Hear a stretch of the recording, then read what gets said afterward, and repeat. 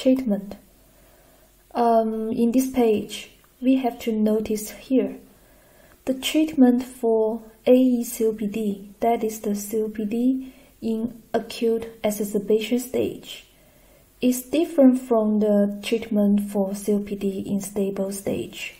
So, it's very important for us to confirm the stage of COPD so that we can choose the correct therapy for them.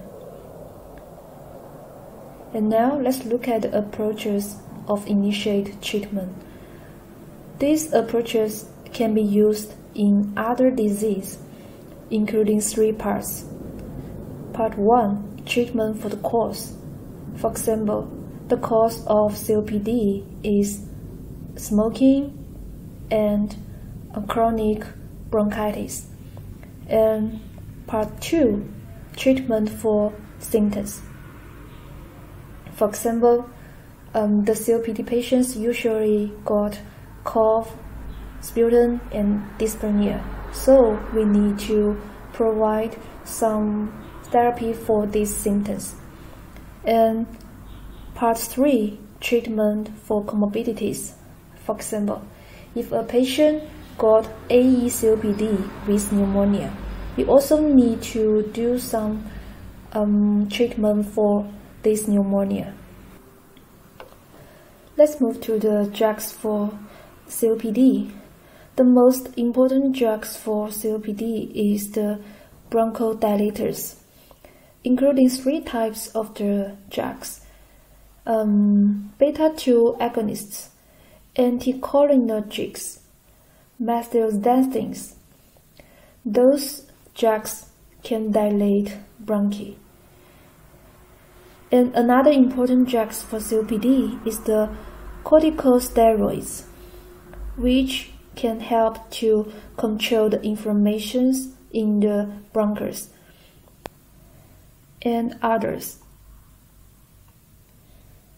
There are three administration routes of the drugs for COPD patients. The first one is through the oral. For short, it is PO and another one is injection with wing. For short, it is IV. The third one is inhaled by different device. One of the device is nebulizers. Let's look at this picture. These two devices are the nebulizers, and we can add some liquid medicine into this device and the patient can inhale the drug for um, through the mouth or through the nose. In general, we choose this device for adult and choose the another device for children or some patients in coma. Another type of the inhaler is called a metered dose inhaler, as the picture showing. The drugs are sold in the device with accurate dose in each inhalation. Beta-2 agonist is one of the most popular drugs of the bronchodilators. It can be divided into two subtypes. One is the short-acting beta-2 agonist for short, it is SABA, and the salbutamol is a typical drug of SABA. Another subtype of beta-2 agonists is long-acting. For short, it is LABA, LABA. For example, the salmeterol in this device belongs to LABA. About the adverse reactions, we need to notice the tachycardia and arrhythmia caused by the beta-2 agonists. Because in my clinical work, works, in my clinical works, most of the age patient cannot tolerate beta-2 agonists because of adverse reaction in heart. That's the first type of bronchodilators. Another one of the bronchodilators is anticholinergic agents. It also can be divided into two subtypes. One is the short-acting. For short, it is SAMA, SAMA, and another subtype is long-acting. For short, is LAMA, LAMA. And uh, this drug, tiotropium, is a popular drug for us to treat the COPD patient in stable stage. And about the adverse reaction, we need to pay attention to here. These anticholinergic agents can increase the intraocular pressures. So, if the patient suffer from um, glaucoma, we cannot use these drugs for these patients. And some male patients with old age are likely suffered from the hypertrophic of the prostate. In this condition, once we start to treat them with the anticholinergic agents, we need to pay attention to the adverse reactions of the dysuria. Methylxanthine is also a type of the bronchodilators, including the theophylline, doxofylline, and so on. About the adverse reaction of these drugs, we must notice the intoxication of this drug because the dose for the treatment is similar to the dose for the intoxications.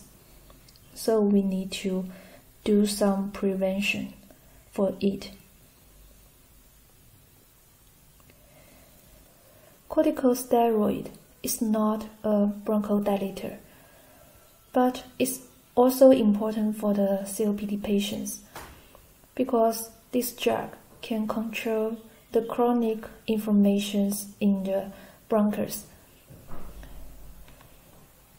According to the administration rules, the corticosteroid can divide it into three subtypes. One is the inhaled CS, for example, the budesonide here.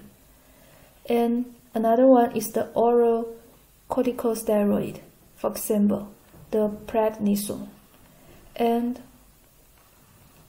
another one is the IVCS, for example, the methylprednisolone.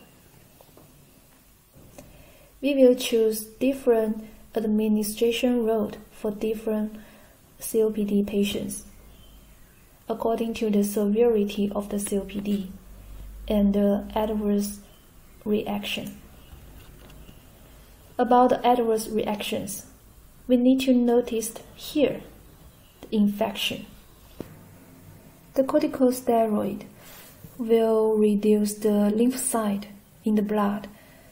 Therefore, it can result in the um, exacerbation of the infection and a new opportunic infection by tuberculosis or fungus.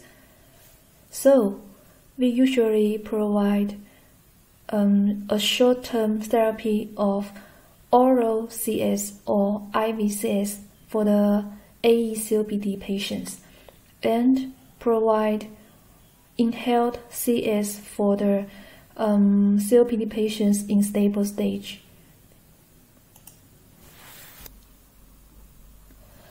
Other drugs for COPD include macrolide, which will reduce the inflammations of the um, bronchus, anti-leukotrienes, and so on. And about other therapy for COPD include oxygen therapy, pulmonary rehabilitation training, and mechanical ventilation. Sometimes um, surgery is required for some special patients. For example, the, the lung volume reducing surgery is required for the patients with a lot of bullae and uh, lung transplantation is required for some um, for some patients with uh, bad lung functions. Let's do a summary for the treatment for ACOPD patients. 1. Oxygen therapy. It is required low flow, usually 2 to 3 liter per minute oxygen therapy. And 2. Antibiotics. Antibiotics is required only when the patients combining with the um, respiratory infections. 3. Bronchodilators, including the beta 2 agonists, anticholinergics, methylxanthines. Please hear, um, please pay attention to here. Um, we must choose the short acting for ACOPD, including the SABA SABA and SAMA SAMA.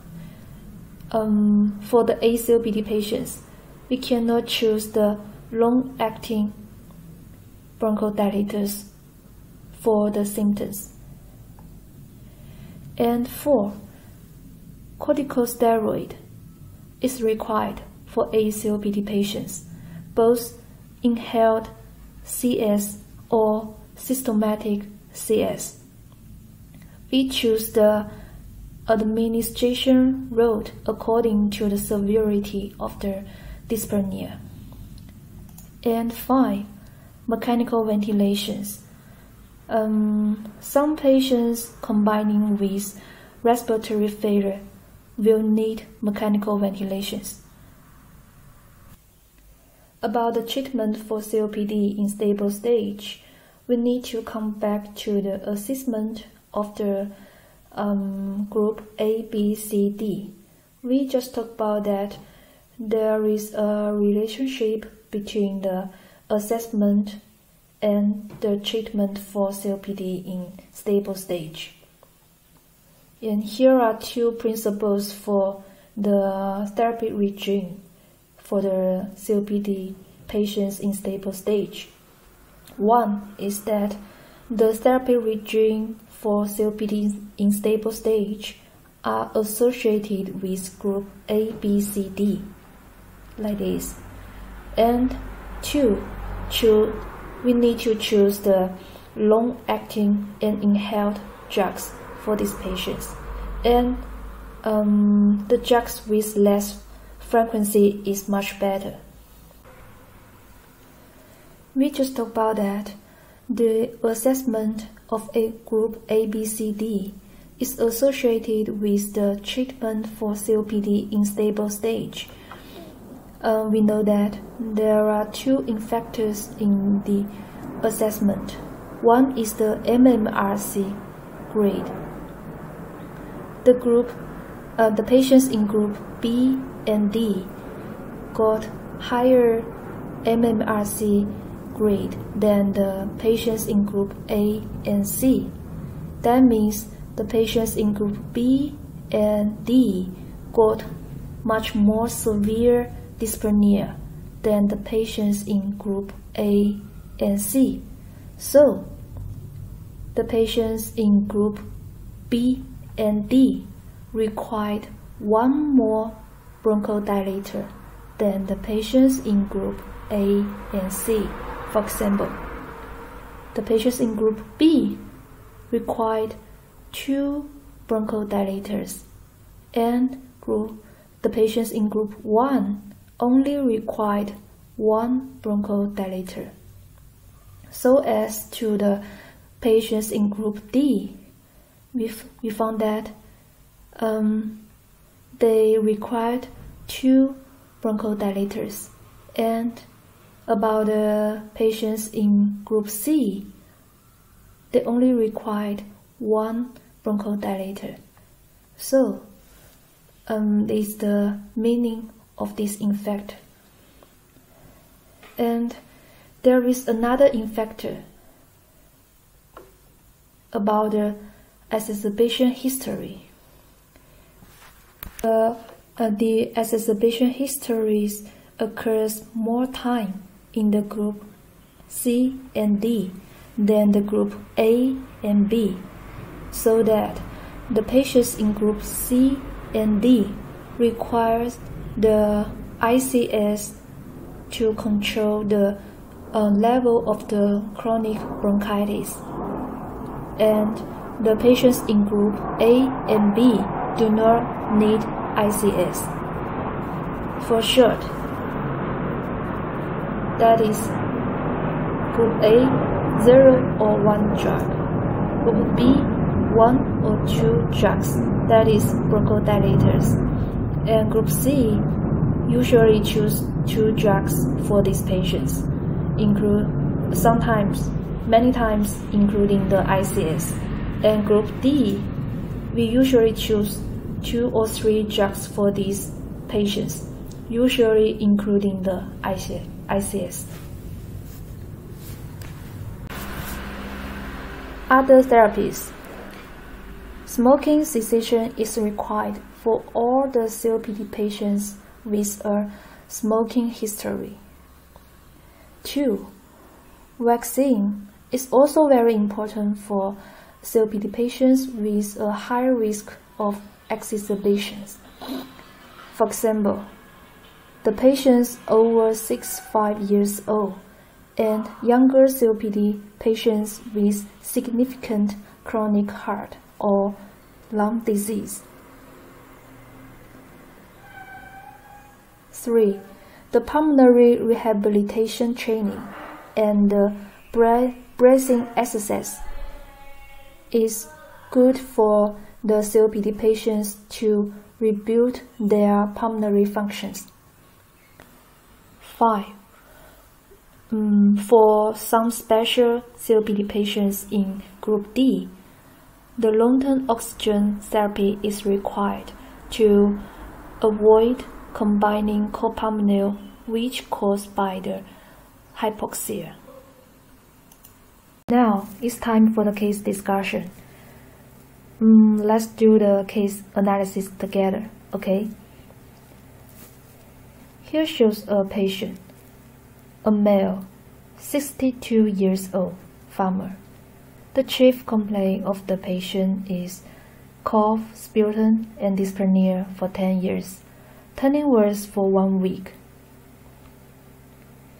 This page shows the medical record of this patient. And now you have two minutes to read this medical record.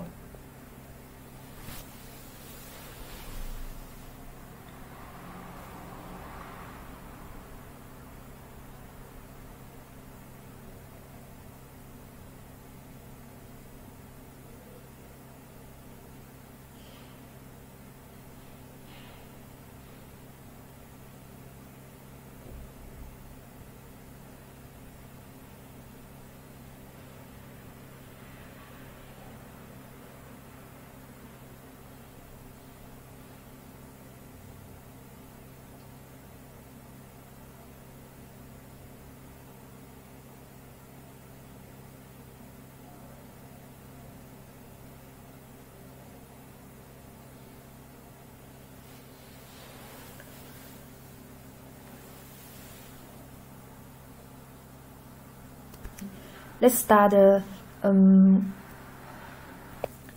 okay. Let's start the case analysis. At first we can figure out the most important information from the medical record including the positive symptoms positive histories and positive signs. And after that we can write down the details on the paper and that is the clinical manifestation of these patients. And now, let's try to find the meanings of the details. Firstly, it's a 62 years old man with a long-term smoking history. And two, the chief symptoms of this patient is cough, sputum, and dyspnea. And 10 words for one week shows that this patient may be suffer a disease in the acute stage. And in the medical record, we can also find the yellow sputum exist. And more details in the symptoms. We can find that this patient feel uh, severe dyspnea after walking less than 500 meters. According to the MMRC scale, we can conclude a MMRC grade 2. And this patient also got exacerbation history three times in last year. So, if uh, there is a COPD, and we can conclude that this patient belongs to the group D. Okay, about the physical examination, we can find the fever exists. And um, according to the physical examination of the chest, we can find the positive signs of barrel chest, widen of the intercostal gaps, breath sound of the both lungs decreasing. All of these positive signs shows a emphysema.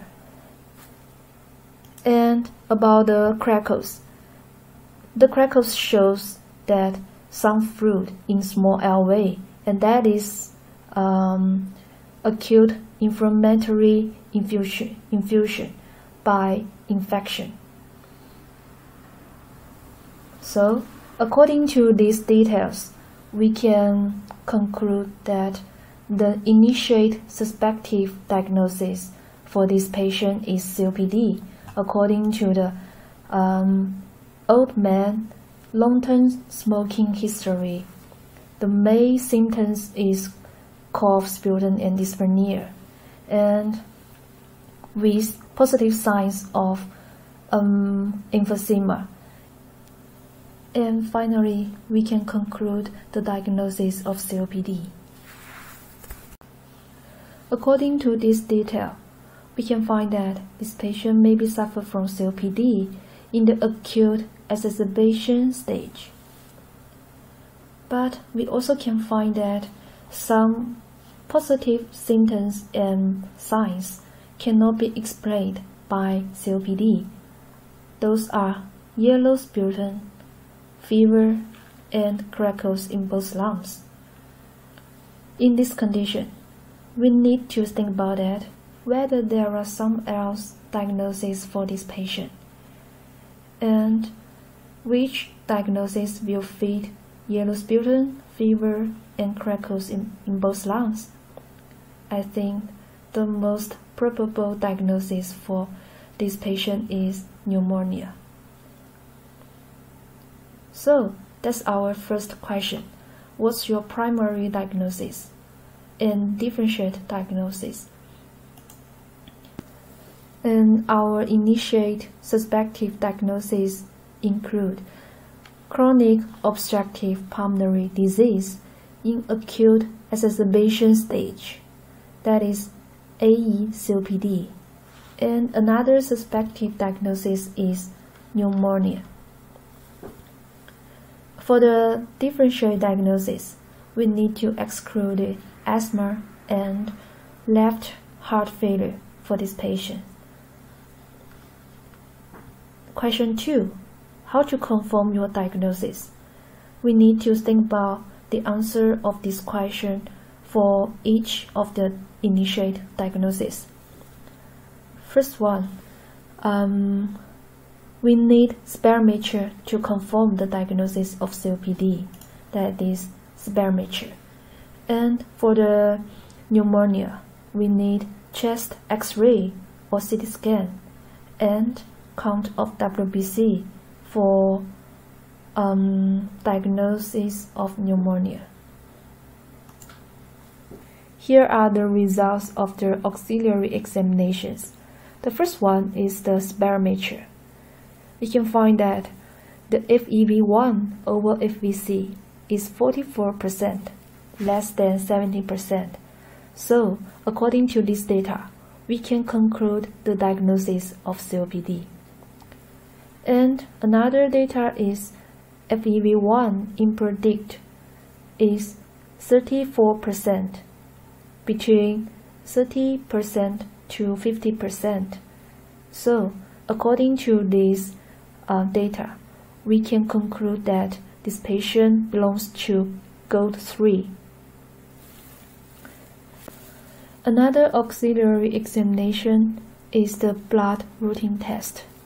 According to this test, we can find the increasing of the white blood cell count and the neutrophilic cell count. And according to the data, we can find the existence of the infection. And about the CT scan, the results shows the infection in both lower lungs and emphysema in both lungs. Um, so we can conclude the diagnosis of the pneumonia. And the emphysema is one part of COPD. So we just write down the diagnosis of AE COPD but we don't need to write down an emphysema here. Question 4. What's your treatment for now? That means the treatment for COPD in acute exacerbation stage. And now, it's easy for us to write down the answer, right? Let's look at the answers.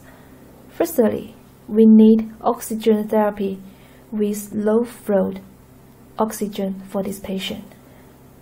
And two, um, we need antibiotics to treat pneumonia. Here I choose one kind of penicillin for anti-infective therapy. 3. We need some short-acting bronchodilators, including the salbutamol and ipratropium bromide for inhaled therapy. And 4.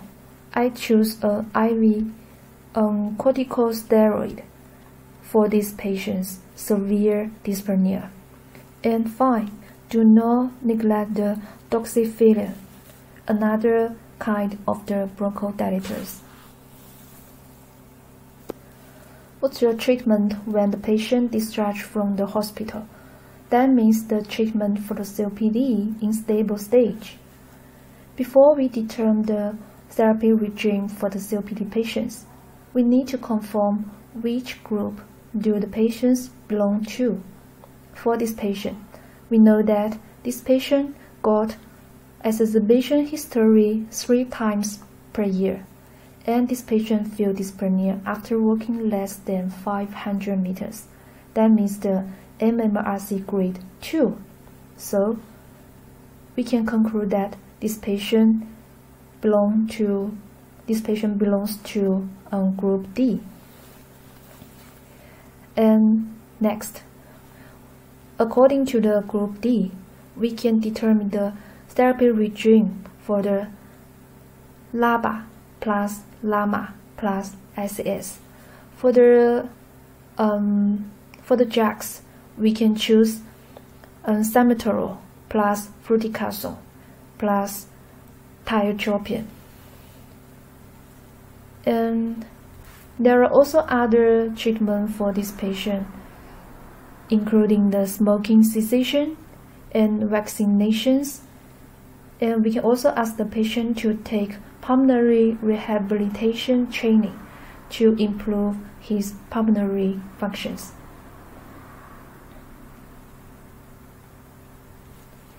Okay, let's do a summary we just need to focus on the two mast contents. Um, this the contents about two mast is which you need to keep in mind firmly and is important for exam and clinical work, including the symptoms and signs of COPD, and the diagnosis of COPD, spirometry report, and how to divide them into different groups. And about treatment, you need to um, remember the drug types and different therapy regimes in two stages according to the group A to D. Okay, that's the contents of this class. Thank you. And if you have any questions, you can tell me in the group WeChat. Here shows the references of this class. Um, the GOLD guideline is very important for our clinical work. I hope you can download the file of the GOLD guideline for further learning. And that's all of this class. Thank you.